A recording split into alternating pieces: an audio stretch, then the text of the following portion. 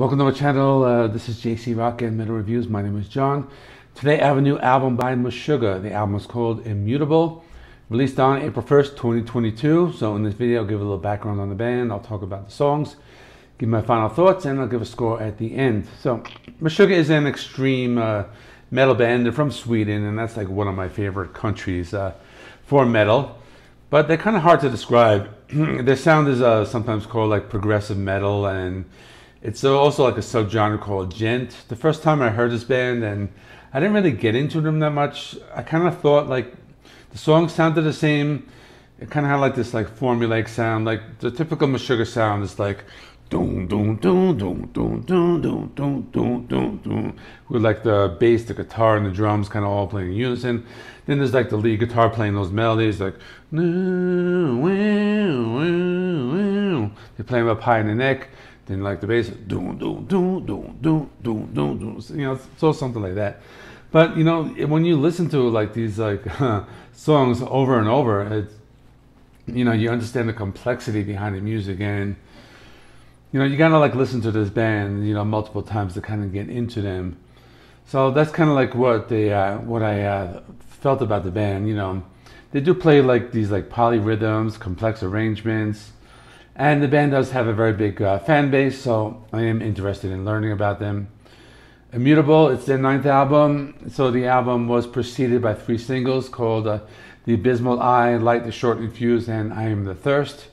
Now, I did listen to these songs prior to the release of the album, and I thought they were just like okay. You know, you know I think the singles are not like the best songs. This is like the type of um, band you kind of need to like hear the whole album to kind of like enjoy, you know, the band but it is a long album, you know, 66 minutes, 13 songs.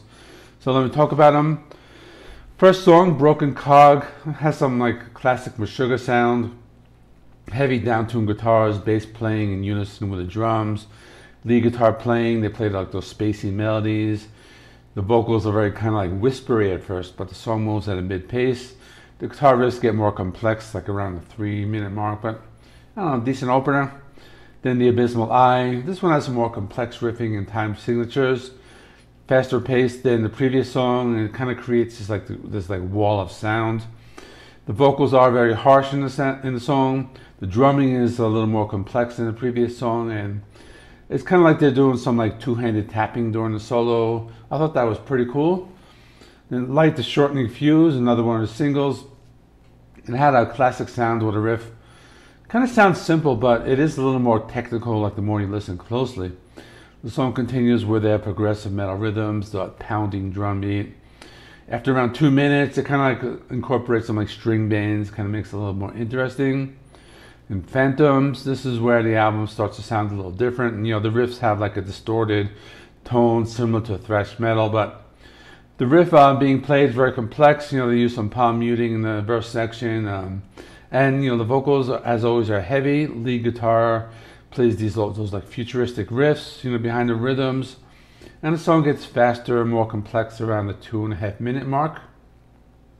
Ligature marks. This one has a sound uh, similar to like the first song on the album with the heavy guitars like in unison with the drums and bass and the lead guitars playing these like spacey melodies they use like these heavy string bends creating some deep thick riffs God he sees in mirrors.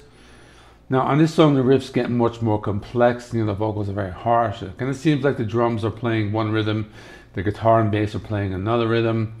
And they are very technical, also very lots of uh, futuristic guitar, you know, leads and guitar solos, and they seem to be doing like their own rhythm. You know, last 30 seconds is almost like silent, kind of like prepares for the second half of the album which goes to They Move Below, and this is a nine minute long instrumental. Now, the placement of the song on the album kind of gives the, like the listener like a break from those complex and heavy songs, and it's more of an atmospheric song. It sets up like the second half of the album. Now, it starts off slow, like with acoustic guitars, but it does get heavy after about two and a half minutes, and it's an instrumental. There's like many different sections, and it's actually a song that I, I liked a lot because I, I think um, you know this band playing this style as an instrumental, you know, they do it very well. Then Kaleidoscope, again the same type of uh, sound. Actually, the intro re- reminded me a little of, of Korn, but that's until the vocals come in. But the main riff, it's just complex, time signature changes. So when the vocals come in, it's pretty cool. And a little different, it has like a short guitar solo in the middle of the song and some faster tempos. It's a four minute song, and one of those songs that, uh, you know, doesn't follow the whole like verse, chorus, verse. This is not that type of band they kind of like just like do their own thing, you know, like other bands like go here and they kind of have their own structures.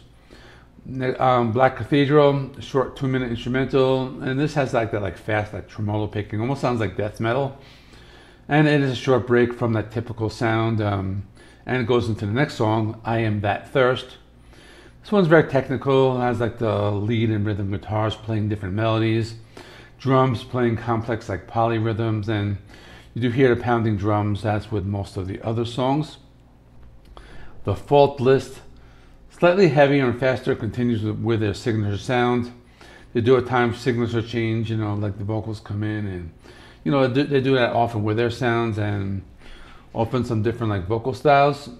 Then Army of the Preposterous. This one I like a lot. It has like this fast machine gun riffing and you know, lots of energy, and this one actually stands out amongst the other songs. So maybe like one of my favorite tracks. And last song, Past Tense. It's slower. It's an atm- it's an atmospheric. It's an instrumental and very haunting tone. Kind of like a nice break from the typical sound. You know, you got one uh, guitarist playing uh, like the the rhythms with those like arpeggios. Then another uh, guitarist playing like a clean tone, like with the lead guitars nice laid back song to close the album. So, now my final thoughts for this album and this band. So, I actually think if you're a newcomer to the band, it might take a while to get into them. Like I said before, my first impression of the band was everything kind of sounded the same, but as you listen to songs over and over, you start to recognize that they are very complex, very technical. The band that does have a very a large fan base. It's an album that to me it was like okay and I kind of like wanted to like confirm my feelings. So I watched a couple of other reviews and I watched like some rankings, and you know most of the other channels did say it was you know not one of the best, but a good album. You know, in the rankings, you know this one was kind of more towards the bottom or more middle to the bottom. But anyway, I just wanted to get a better understanding and get other opinions, you know, because I am new to the band. But my uh, final score is seven out of ten, not bad. Let me know in the comments what you thought. Up next, uh, anniversary reviews. I got a lot. ZZ Top, The Cult, Whitesnake, The Clash, and Judas Priest. I'll see if I can get them all done this week. If not, I'll like get the other ones done during the weekend. Please remember, like, comment, subscribe. I will stick another video right there to check out, and uh, see you in the next one.